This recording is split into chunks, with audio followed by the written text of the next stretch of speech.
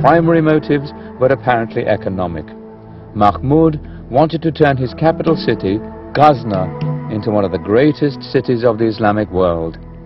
He tried to attract all the leading poets, literary figures and scholars to his court, but that required more money than the kingdom produced. Mahmud therefore looked to the temples of neighboring India. Their treasuries were bulging with precious stones. Mahmud coveted the gold and silver objects, which in his eyes were dedicated to idolatry. This provided an excellent chance to combine sheer greed with religious zeal, and Muslim armies began to enter India on a regular basis. Mahmud of Ghazna was the first in a long line of Muslim conquerors and immigrants who came to India from Central Asia, Iran and Afghanistan. All of these came to make their fortunes in India. Islam became important in India and it influenced Hinduism in two ways. First, Islam's mysticism sometimes blended with Indian mysticism, and its monotheism sharpened Hinduism's monotheistic tendencies. Second, most Hindus rejected Islam, and through their negative reaction, they strengthened their own Hindu religious beliefs.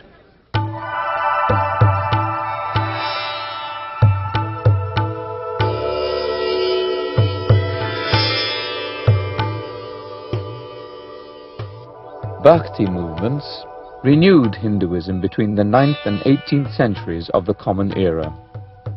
Devotees were not interested in the dry philosophical doctrines of the Advaitins, who were discussing the ultimate and single reality of being. Bhakti devotees instead concentrated on the ecstatic love of God.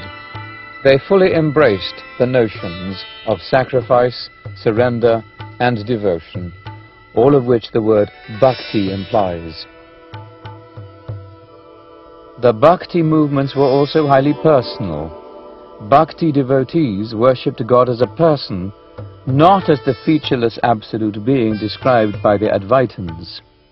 Believers imitated the poet saints, who were central to Bhakti.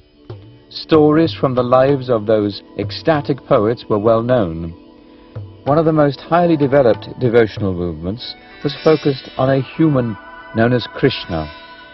Krishna technically was believed to be an incarnation of Vishnu, but Krishna's followers identified him as being truly God. Vishnu was simply another name for him. Krishna's place in Hinduism was like that of Jesus in Christianity. Each was believed by his respective followers to be God incarnate, that is, God in the flesh. A number of the poet saints were women, and the bhakti movements often gave women a central and honored place. Krishna's consort, Radha, became the role model both for male and female believers. Radha's selfless devotion to Krishna became the model to follow for all Krishna's devotees. Throughout the 19th century, Hinduism gradually had become aware of itself in a new way. Now Hindus began to define themselves more sharply in contrast to other religions, such as Islam and Christianity.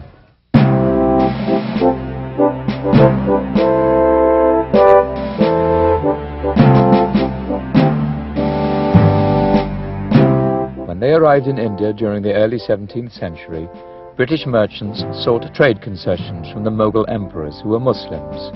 After some time, they realized that most people were not Muslims. Only in the early 19th century did the term Hinduism come into wide use, and the Indians then picked up the usage from the British. A very confusing thing is that Hinduism is not an indigenous term at all. Hindus don't refer, didn't refer to themselves as Hindus before British times. Uh, British used the term in part as a way of distinguishing between Hindus and Muslims. It also became a matter of census and voting, which is that if you called yourself a Hindu, then you gave yourself more power, since there was more people who called themselves Hindu, against Muslims. So the term is not indigenous at all. Now, of course, it's taken a life of its own, and it is used by people in India to describe these religions in South Asia. Religions excluding Islam, Christianity, Buddhism, and Jainism are all called Hinduism. It's an umbrella term. Ram Mohan Roy was one of the major figures involved in the modern development of Hinduism. Roy said the decline in Hindu beliefs and social customs was caused by centuries of Muslim rule. In his mid-twenties, Roy began to acquire land. He moved to Calcutta, the capital of British India. There he began lending money to the young Englishmen who worked there for the East India Company. Eventually, Roy received a job in the East India Company's revenue administration, and this gave him even greater access to the British. Ram Mohan Roy celebrated British rule, which brought, in his words, the cheering influence of equitable and indulgent treatment. Roy believed British rule would enable Hindus to return to the pure teachings of the ancient past. Another trend that began in the 19th century was the tie between Hinduism and Indian politics. Bal Gangadhar Tilak was a leader who quickly realized that appeals to religion could mobilize the Indian masses. Tilak was an implacable opponent of British rule. Though trained in the law, he refused to have anything to do with a career in the British-run courts. Instead, he became the editor of a newspaper called Kesari, which was published in the Marathi language of Tilak's home area. Tilak's views led to several arrests for inciting anti-British feeling and communal discord. The British imposed strict censorship on political speech in India. When Tilak died in 1920, he probably was the most popular leader of the Indian National Congress Party. Nevertheless, his anti-British rhetoric had long-lasting consequences.